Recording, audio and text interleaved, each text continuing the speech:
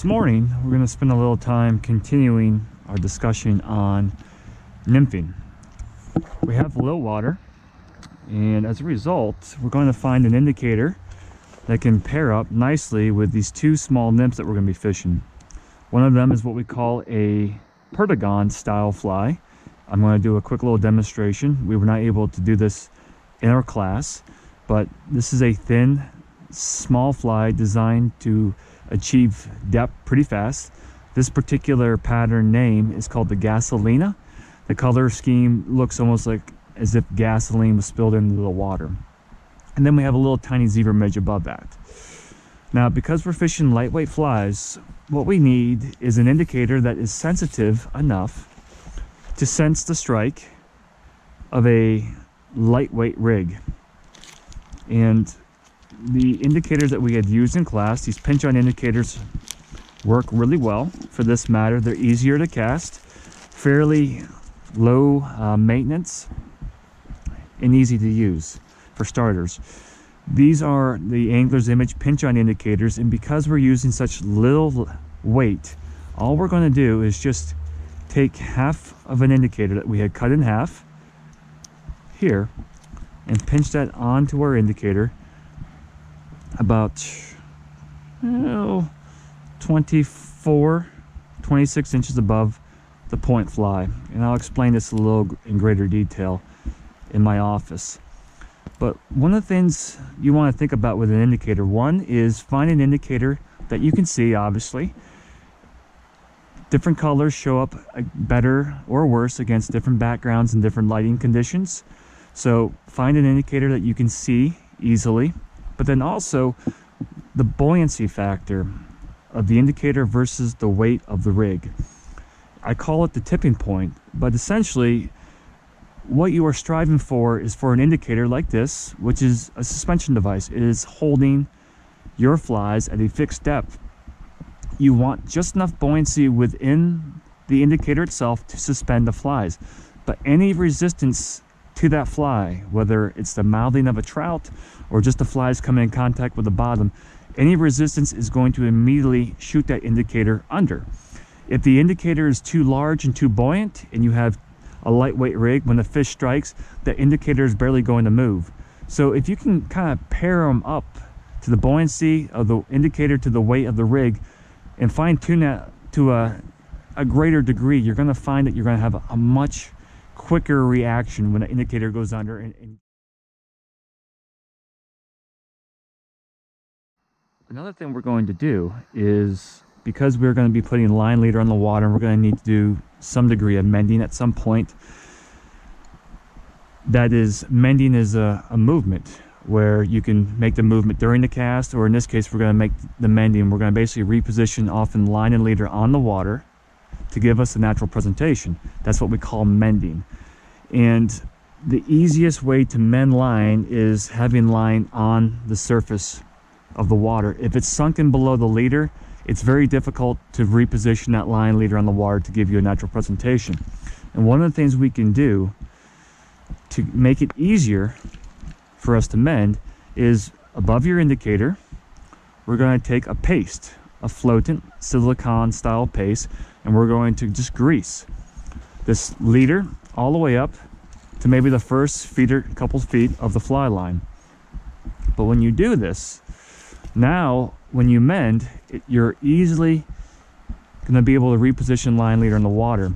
The other thing that this does, especially in this low clear water that we're going to be seeing, is that if you have a, a, leader or fly line below the surface and you quickly try to mend or reposition the line, that line has got to push up towards the surface and it's going to create a disturbance, spooking fish. So this makes it easier for mending, but also it creates a stealthier mend uh, for that part.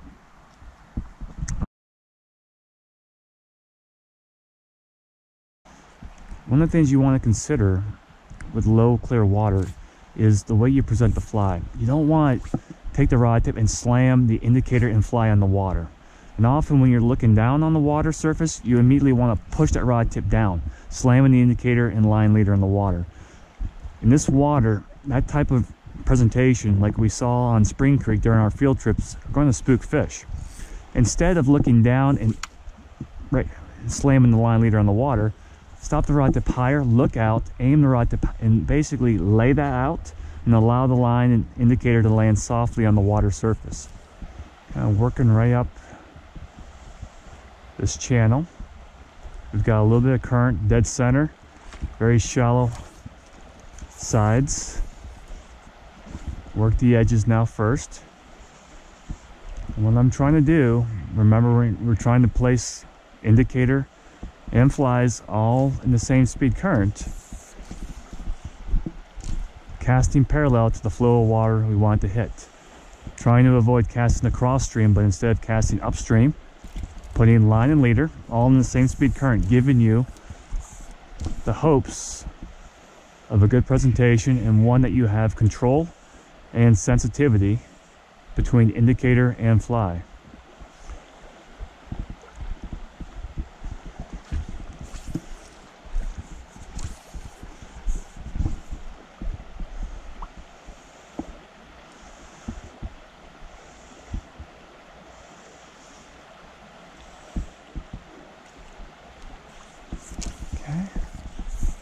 Shift gears now. We're going to work out a little more dead center.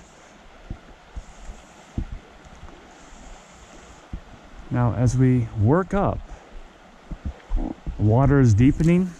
It's getting a little faster. We might have to make a slight weight adjustment. Ideally, we want to be coming in contact with the bottom on occasion, not frequently, but just once in a while. And right now I'm not seeing any indication of my fly getting close to stream bottom. So all we're going to do now just make a slight white change. And these are things that you got to do. Trout are not going to meet you halfway sometimes. In these conditions where there's little activity cold water you have got to go to the fish so this, these are the little things, just a discipline of just taking a moment, understanding that you're not getting the drift that you need, and just adding a little bit of weight. Or in this case, going to a, a fly with a bead that's one size larger than the previous one. Oops. That's what happens when you talk. Do our simple clinch here. This is still the Gasolina, a little Perdigon. We're just going one bead size heavier. Gives a little more weight, hopefully a little more depth, and hopefully a little more success.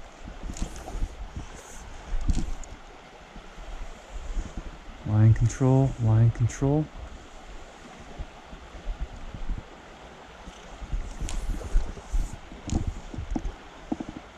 Reach.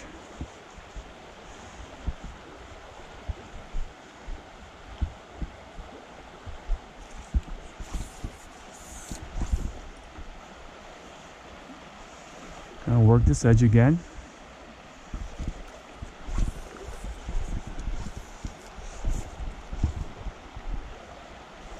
Right down the middle. Rod tip is out, stripping in line about the same speed as the currents come back to me. Indicator stops. I'm gonna set the hook. Now with this, keep the line pinched underneath your rod hand, and when you do want to strip in a fish rather than use the reel, just stripping the line behind the rod hand. Fish is up, nice smooth entry into the nets. Cool. Now, remember in class, we're trying to keep the fish as wet as possible. That protective slime protects it from diseases and parasites. Never want to drag a fish up on the bank. Hands wet before you land the fish or touch the fish. You can just grab on your barbless fly, comes right out, and set it back on its way. All right. Now okay. So you're casting, we're going we're talking about line control a surface drag. Basically, the more line and leader that's on the water coming in contact with the faster currents, the more likely that faster current is going to create a drag. And remember with nymph fishing, most of the time we're looking for the flies to be drifting with the current in the same, basically with the flow and about the same speed, sometimes a little bit slower. And when I keep, and I, and I have the ability to reach, keep more line leader off the water, what that does, it just decreases that surface tension. And if I have to put a lot of line on the water, the more line in the water, the more drag, and often the less likely a fish is going to eat my fly because it's moving often at a faster rate than what the naturals are. So just the ability to keep more line leader off the water is going to just give you better line control and a much more natural presentation. The other thing about less line in the water is control from a hook set standpoint. If I have a cast and I put a bunch of slack in the water and the fish hits my indicator and I have to elevate my rod tip, by the time I elevate my rod tip and pick up that slack, often that fish is gone. So by just making the cast here and stripping in the line about the same speed as the current, keeping the line fairly nice and straight without dragging the fly, the moment that indicator goes under, I can immediately set the hook. So just these little things definitely add up to a lot at the end of the day.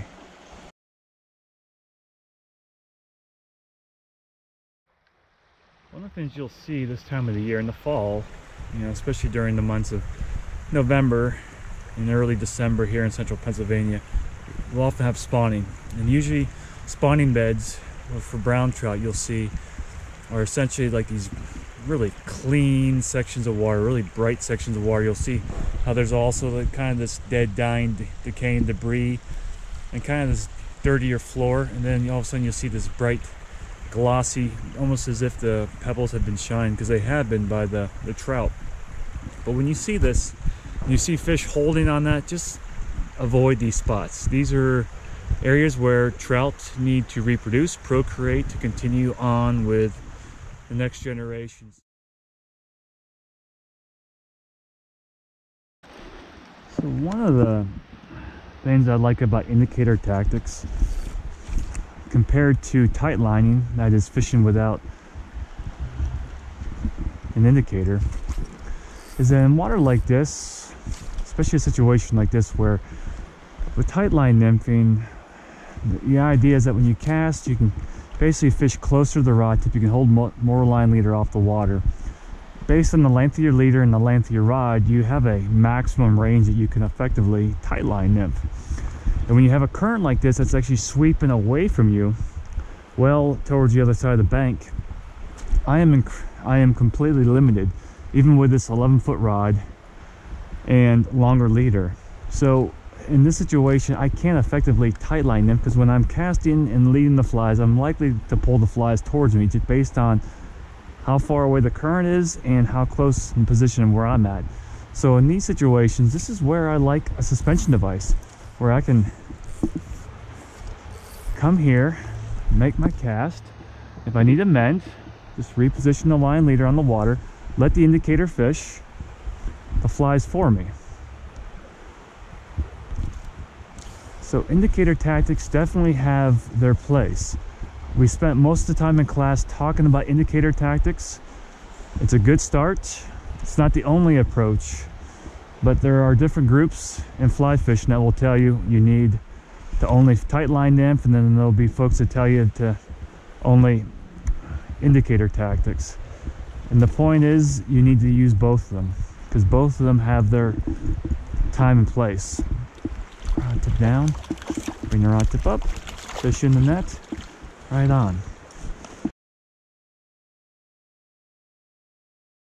Mending, we have two options. One is this. Remember we talked about trying to keep the fly line, leader, and fly and indicator all kind of in that same speed current and avoid trying to cast and position different move parts of your leader in different speed currents.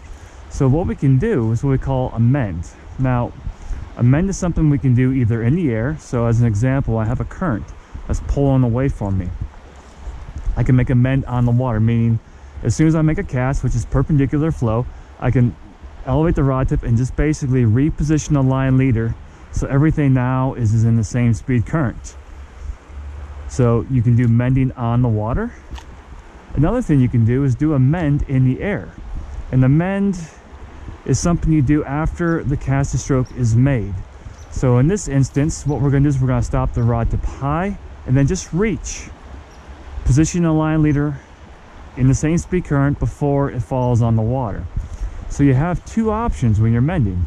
You can cast, elevate the rod tip, and then just reposition the line leader so it's nice and parallel. Or what I try to prefer most of the time is I try to do the mending in the air here.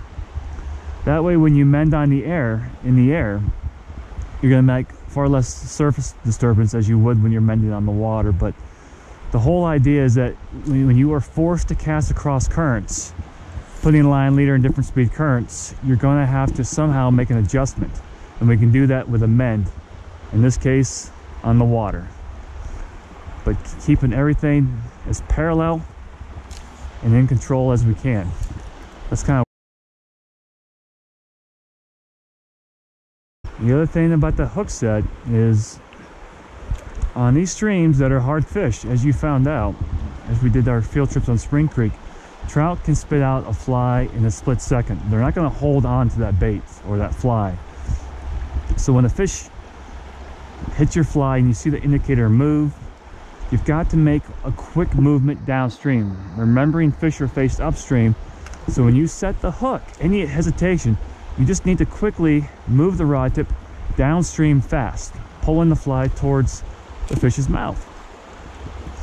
And again, the less slack I have between my rod tip and my indicator, the quicker I'm able to create enough energy to actually begin moving the fly downstream for my hook set. If there's too much slack, I move the rod tip and by the time I regain control, put tension in that fly, that fish has already spit out that fly. So it's just a fine balance between enough slack and control. There's the bottom. And when you do hook bottom, double check. Sometimes you can hook a fish and you're you're thinking it's it's a bottom and all of a sudden the rocks or the bottom starts moving. But in this case, it's bottom. In this case, when I set the hook, I set the hook downstream. Normally, all we're gonna do is just reposition the rod tip above and try to pull the fly in the opposite direction in which you set the hook. Remember when you set, you're pulling downstream. If you get stuck, chances are if you could just position the rod tip slightly upstream and pull in the op opposite direction, you're gonna free that fly. Now we're gonna check the hook and go back to work. Cast right there. Short casts, short drifts.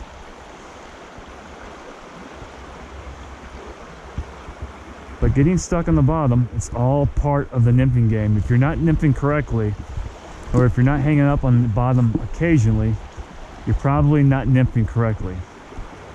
You know, tight line nymphing, fishing without indicator, you know, you do have a range. And for me, that range is, you know, usually, you know, 20 to 25 feet. In low, clear water like this, often we need to make a longer cast. And an indicator or suspension device in this matter allows me to make a cast greater than 20 25 feet and have control. So again another reason why you just need to learn how to tight line nymph and also fish indicators. Longer cast single fly kind of reach and just watch that indicator just drift at the same speed as the bubbles. Slow presentation but we need distance here.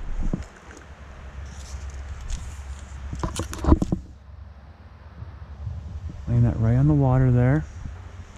General presentation, try not to slam the line and indicator on the water. There's a little hesitation.